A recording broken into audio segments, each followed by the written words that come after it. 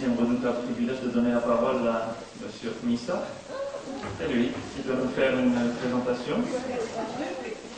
Institute Adaptive Guidance System for Students.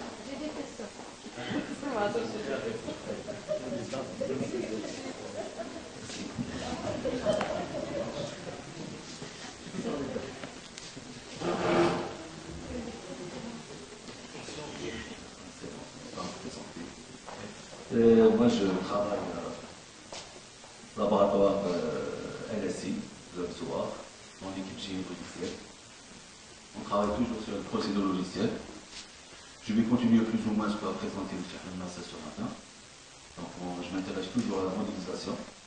Et on ajoute un nouveau concept qu'on appelle l'assistance. Euh, notre objectif, il est toujours fait, toujours à notion de des développeurs et d'équipes développement, dans le souci d'améliorer, euh, de générer des produits de qualité